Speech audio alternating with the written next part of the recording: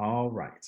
Well, we are with Kristina King, professional basketball player extraordinaire. I, I am super excited to be having this conversation. I've heard a lot about you. I've seen okay. things as well too. Okay. Um, you got game, so I am um, respect there for sure. Uh, but I'm excited. I'm just excited to learn about you, have you share your story with everybody, and um, and let's have some fun. Awesome. Well, I just want to say thank you for even having me. Like when you reached out, I was very, you know, humbled by that. So I, I definitely appreciate the opportunity to share my story. Absolutely. Absolutely. So got to start where I always like to start, which is when did you fall in love with this game that we call basketball?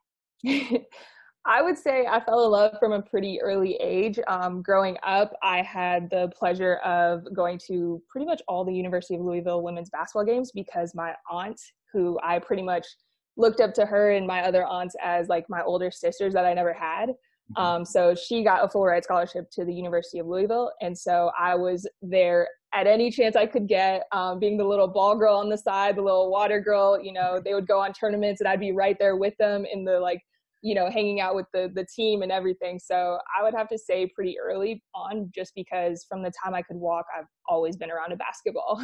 Always. Okay so louisville man okay that's um yes standards were pretty high.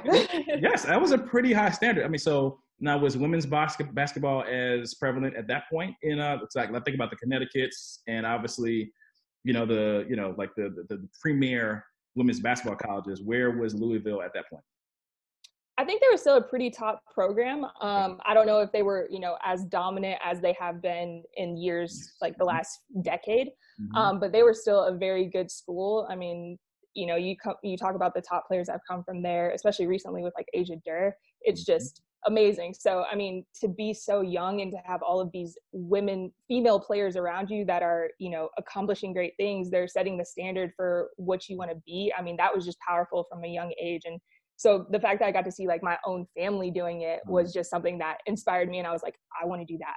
I want to be you know a mentor to young girls like they are to me right now. So um, i've always just wanted to be it kind of didn't help that like i always wanted to do whatever they did too so, so for me like since i was exposed to it so young it just kind of was instilled in me. Um, you know my dad played as well my mom played as well so it kind of just was in the family so mm. to speak. Yeah yeah, and you probably were able to progress a little bit quickly, uh, quicker than I guess some of your peers, because if you have parents who are playing, especially you have families playing at a high level.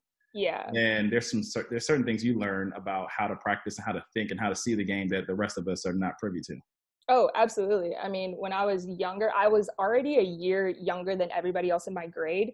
And so with that, I was already playing up and then I played up even more just because I think when I moved to Washington State, you had to be like in third grade to play like organized basketball. Mm-hmm. And I wasn't there yet, but my mom was like, "We'll we'll get you on the team. Like we'll make it happen." So I've always played up and just have been surrounded by it. that's great. Okay, that's that, that's wonderful. So, um, what was about basketball that you feel like just just pulled you in?